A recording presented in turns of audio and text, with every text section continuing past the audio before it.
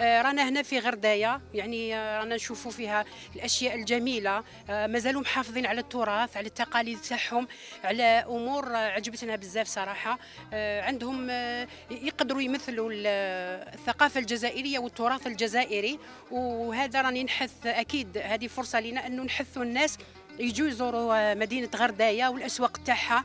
و- ولما لا إحنا عندنا أسواق القديمة. وحنا رانا عندنا هنا تراث غني غني بالبزاف. بالنسبة للدرك الوطني راه قايم بالواجب تاعو. حنا رانا أي حي أي منطقة رحنا ليها لقيناهم متواجدين وقايمين بالواجب تاعهم.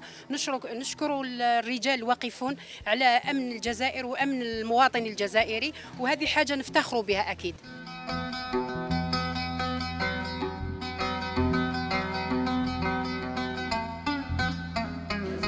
Uh, some news uh, because uh, before I, I never saw the places like this, and in our country, totally different. And now I, I'm surprised because the people are very, really good and, and nice. Difficult now is to, to, to too much uh, news for us. We have to put under some levels and and compare some places to, to, to say something. now it's uh, difficult for us uh, because it's too many places, nice places and, and so on. From Djanet, we uh, come to Alger and to Ghardaia. And now we plan to go to Constantine and come back to Alger and, and then to home. So what you're feeling now, what do you feel? Oh, that's uh, oh, this uh, impressive because uh, we don't know much about uh, Islamic countries, and here this uh, well wonderful tradition which is kept and uh, preserved for uh, far, further generations, as, as we learned from from.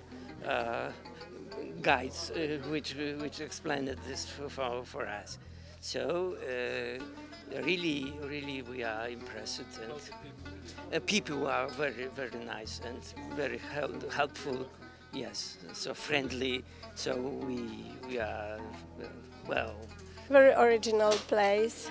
Uh, people are very nice, and uh, eh, we we get to know many information uh, here about tradition, about architecture, about uh, many sites of living.